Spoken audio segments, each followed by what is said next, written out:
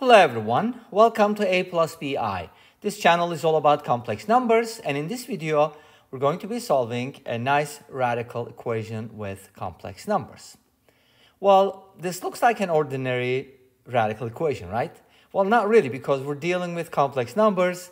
I have another channel called SyberMath that deals with real numbers in general, trigonometry, algebra, and number theory mainly. Go ahead and check it out. If you haven't done so, maybe that's where you came from. If you did, say hi so we can acknowledge you.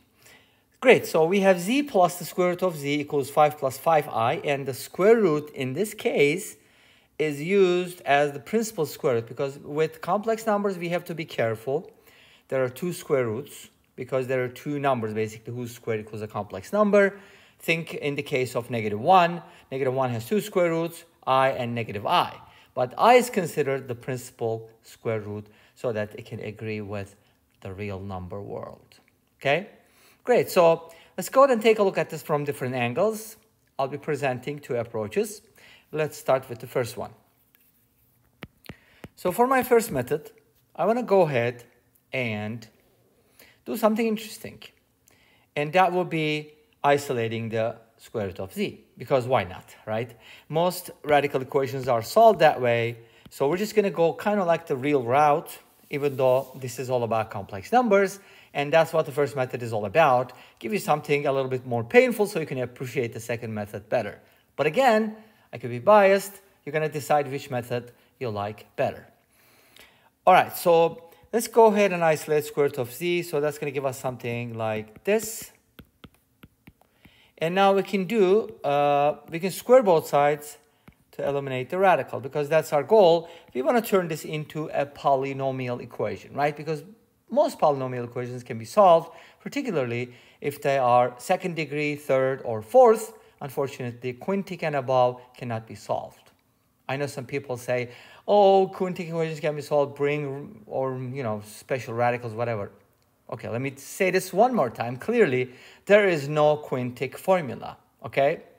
Anyways, so let's go ahead and square both sides. This is z. And the right-hand side, you can kind of take this as a whole, like a quantity, and just square that first, like a squared plus b squared minus 2ab. So it's going to look like this. How nice, right? And then uh, you can square it. If you square this, you're going to get 25. 5i squared will be 25. i squared, which is minus 25. Wow, that's uh, kind of cool, isn't it?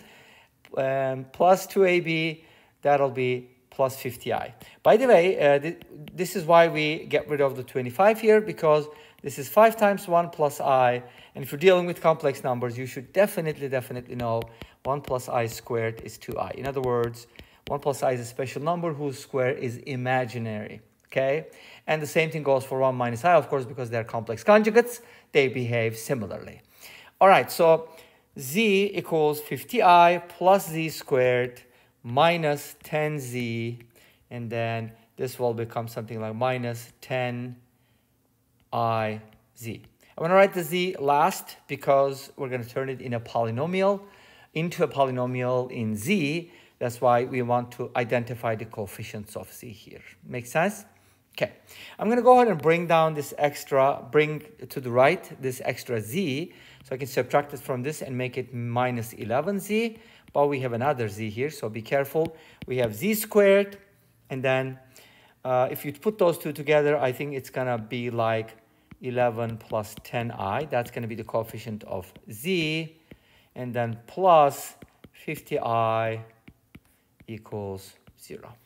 Great, don't you love that? Well, at least it's not cubic or quadratic. I mean quartic or cubic. It's quadratic. Quadratic is easy to solve. We should be able to do this, right? Great, let's take a look. Now, to solve it, we can use the quadratic formula, negative b plus minus the square root of b squared. So we got to take this b and square it, minus 4ac, but minus minus Wait, that's not C. C is plus, so okay. Minus 200i. Yes, that's what we need to do. Divided by 2a, which is 2.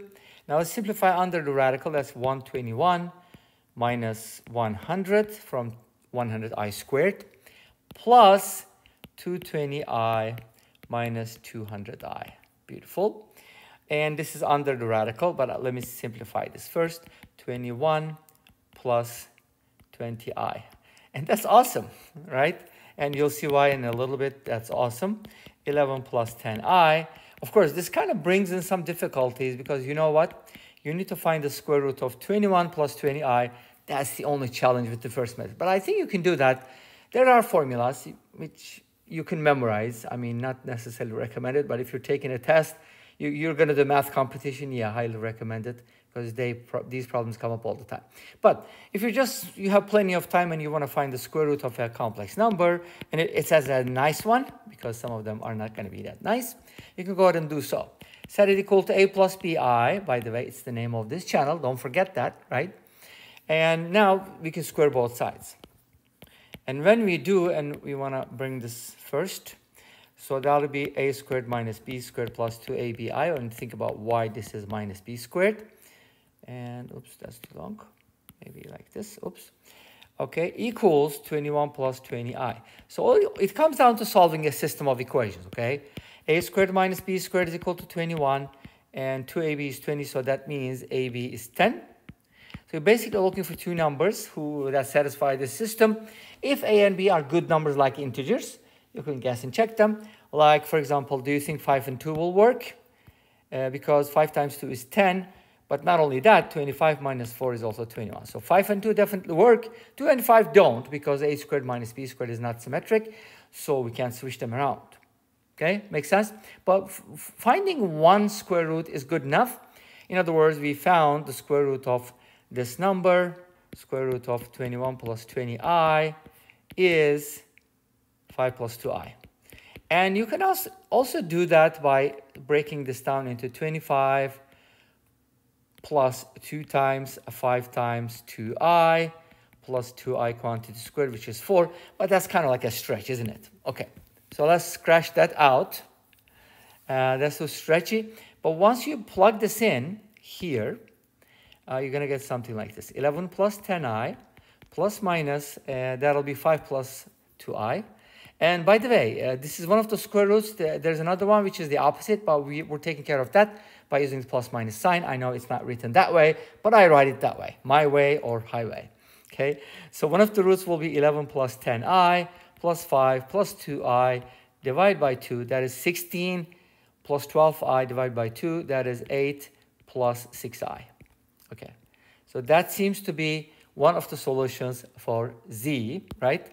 And the other one should look like this. 11 plus 10i minus 5 minus 2i divided by 2. That'll be 6, which is 3 divided by 2. I mean, 6 divided by 2 is 3. And that's an 8i, which is going to give you 4i. So we have two candidates, right? 8 plus 6i and 3 plus 4i. Let me go ahead and write those down here. And why did I say candidates? Because we're not guaranteed that they would work.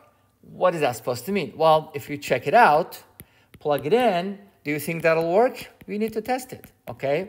Why? Because of the squaring both sides may introduce extraneous solutions. So, for example, if you take 4 plus 8 plus 6i, here plug in 8 plus 6i, 8 plus 6i plus the square root of 8 plus 6i, is that going to give us the answer? Let's go ahead and check uh, the square root of 8 plus 6i, which can be written as 9 plus 6i minus 1, and then 3 squared plus 2 times 3 times i plus i squared. So this is 3 plus i quantity squared, which means this is 3 plus i. 8 plus 6i plus 3 plus i does not equal does not equal 5 plus 5i. But if you subtracted it, it would work, right? So instead of 3 plus i, if you took this to be negative 3 minus i, it would work. But can we take that as an answer? That's a good question. How do you find the square root of 4 plus 3i? That's also a good question, right? You can plug it in. But guess what? I want to continue with the second method because with the second method, I have a totally different approach, which will hopefully uh, sh uh, shed some light on the first method as well. Okay, so this is my equation. And now, instead of just you know, just trying to get rid of the radical, why not set it equal to a plus bi directly, right? Then this will be a plus bi quantity squared, right? So it's going to look like this. 5 plus 5i And then we can go ahead and expand it, bring the real parts together. This will be minus b squared. So we can write it like this. And we're going to have a 2abi and 2ab plus b will be the imaginary part equals 5 plus 5i. Okay, this is hopefully somewhat manageable. a squared plus a. Uh, did I get that right? I, I don't. I think I wrote this twice. Okay, it looks like I did write the. Okay, a squared minus b squared plus a, and then 2abi and then bi. Okay, okay. This this should be it. So now we have a squared minus b squared plus a equals 5 and 2ab plus b equals 5. So if you're able to solve this system, you should get the answers. And we didn't square anything, so this should be good to go. Uh, second equation, we can probably factor out a b. And if you kind of think about it, um, maybe uh, this can be like 1 times 5. a can be 2 and b can be 1. And let's test it in the first equation. a is 2 squared minus 1 squared plus 2. That's 4 minus 1, which is 3 plus 2 is 5. So it works, yes. So a equals 2, b equals 1 works, which means 2 plus i is a solution. But that is for the square root of z. Don't get me wrong. It's not z, it's square root of z. So now we need to square both sides. And when we do, we're going to get the actual value of z, which is 4 minus 1, 3 plus 4i. So z should be 3 plus 4i, and we found two solutions, 3 plus 4i and 8 plus 6i. As you know, this didn't work. 3 plus 4i should satisfy the original equation, and that should be the only solution. And this brings us to the end of this video. Thanks for watching. I hope you enjoyed it. Please let me know. Don't forget to comment, like, and subscribe. I'll see you next time with another video. Until then, be safe, take care, and bye-bye.